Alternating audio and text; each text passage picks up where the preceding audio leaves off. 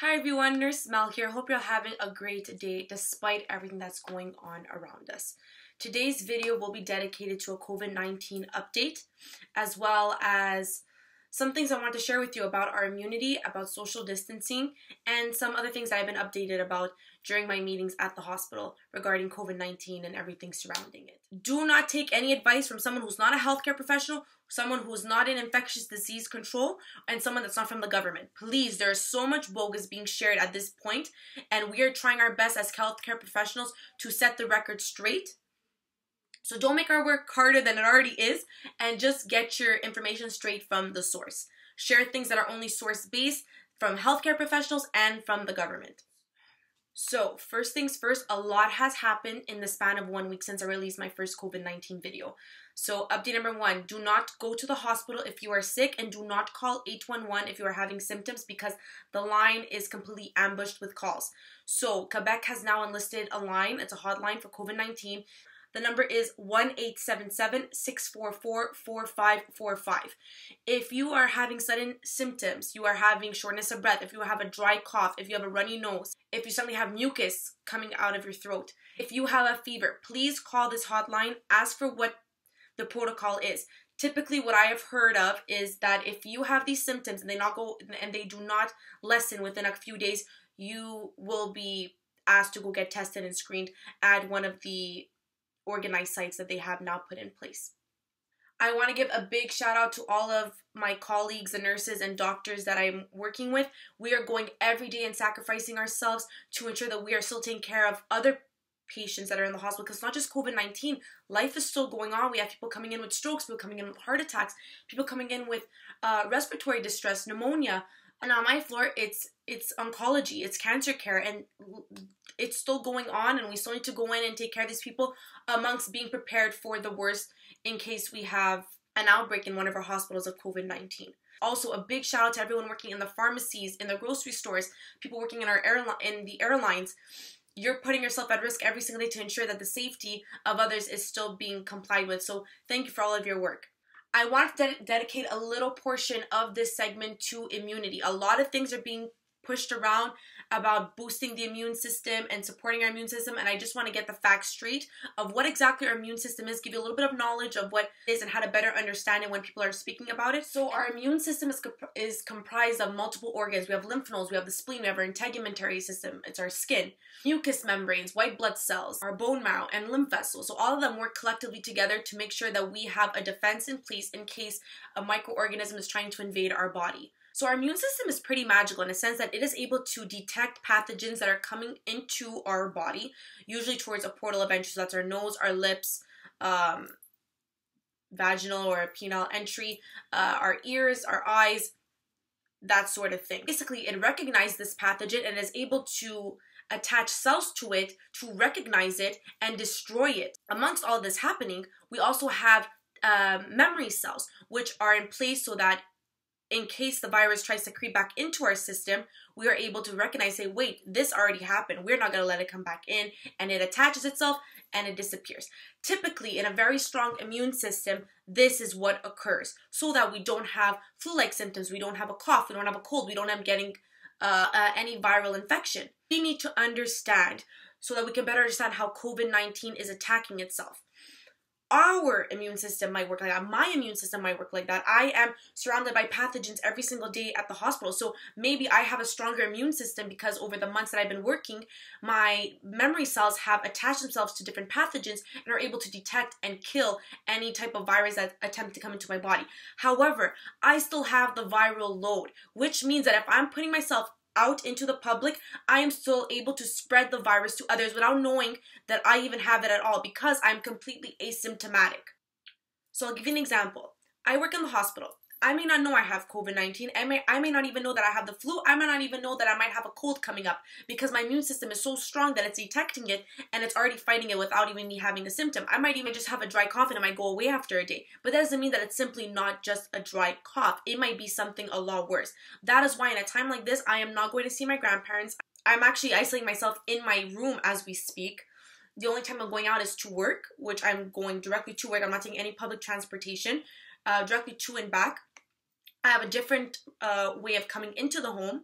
I have an area in the house where I am able to desanitize. I am not leaving my room unless it is to go get a little bit of vitamin D outside for a little bit of my own sanity. And even at that, I am making sure that I am keeping a distance around myself and I'm only doing it once a day and I'm not staying around my family. I am completely in self isolation. Going back to the immune system our immune system and my immune system might be working like that. However, the geriatric population, immune suppressed people, cancer patients, their immune system is at an all time low. Their memory cells are not working as well. They have weakened. They do not have the proper antigens to fight and kill the type of virus that we can attack if it comes into our body. That is why it is important that during this time we remain selfless, we remain Together, we work collectively to protect these populations. If you are coming in via travels, you have arrived, you were in another country, you were in another state, you were in another province, please, we are begging you after you get screened at the airport, because now that is stipulated in place that if you come back uh, from out of Canada or out of the province, you will be screened. But please follow the 14 day quarantine. This virus is very, very sneaky compared to any other virus that has presented itself in our in history. We need to think smart. We need to critically think. And so this is this is why the health um, the World Health Organization is telling everyone that 14 day quarantine is what, what is needed because the virus can live within yourself for 14 days and not show any symptoms. And after a 14 day incubation period, boom, symptoms are going to occur. And that is why in 14 days we will have accurate numbers of how COVID 19 has attacked our people here in Canada. Now, I'm going to be honest, I don't entirely believe in boosting an immunity with a, a certain supplement. I believe in balance. I believe in the yin and the yang. I believe in healthy eating and eating a lot of leafy greens and a lot of lean protein. I believe in exercising uh, weekly. However, when it comes to vitamins and supplements, a lot of them are not FDA approved. And I know now everyone's going vitamin crazy. I will share with you with some of the things that I've been taking uh, lately because every time I am worried about my immune system going down. I do take these things just to help support my immune system, but I don't believe that it is necessarily boosting my immune system just because there's a lot of organs in place for that, and I don't think that taking one tablet a day is necessarily going to boost it completely up. With that being said, I take Emergen-C during this time. It's 1000 milligrams. I put it in my water, and it's basically just to support my immune system. I take it before I go to work does it work? I am not 100% sure. I'm not a pharmacist and I don't work necessarily with vitamins and dietitians. However, I take it in moments where my immune system may need a little bit more support. Is it boosting it? No. And I also take uh, vitamin B12 to support energy levels because I am working at a fast paced job. Um, I work 12, 16 hour shifts sometimes. I work nights, days, evenings on rotation, and I don't have a lot of a lot of time to sleep and rest so sometimes I just take one of these to give myself a little bit of um, energy support.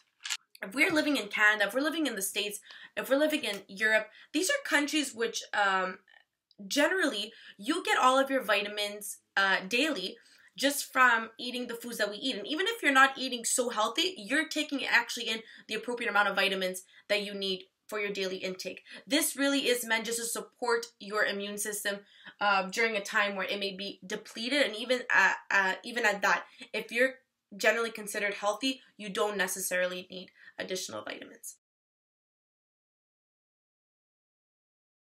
Social distancing means that you are not leaving the house unless it is for grocery shopping and emergency situations where you need to get a medication, where you are, uh, where you just need to stock up on food, toilet paper, things like that. I am not recommending anyone to be going an- anymore to each other's homes. The thing is that we need to understand is that although you may have seen this person within the same week and you think it's okay to go to each other's homes and watch a movie, I understand why you may think that's okay, but I'm going to explain to you now why it's not. Let's just say you today have to go to work. You have no choice. Your business has not closed. So you're going to work and you met someone, even though keeping a meter away in proximity, they have a virus the droplets can trans uh, transmit themselves to you. So now you may be touched now with this virus. You are going back home. You are not just spreading now this little virus that you picked up. You are going out to someone else's home and bringing that virus to them. At this point, I am pushing everyone not to go to anyone's homes. Stay put. Self isolate yourself. I know it is difficult. I know we're on the go society, but please, it is not like we're asking you to go to war and fight for your country. We're asking you to stay on the couch yourself entertain yourself, play a board game, read a book, self educate yourself about things that you don't usually have the time to do, work on those projects that you never had the time to do, work on skincare, simple things that you can start putting in place. And also, FaceTime is a great way to still stay connected and not self completely mentally isolate yourself.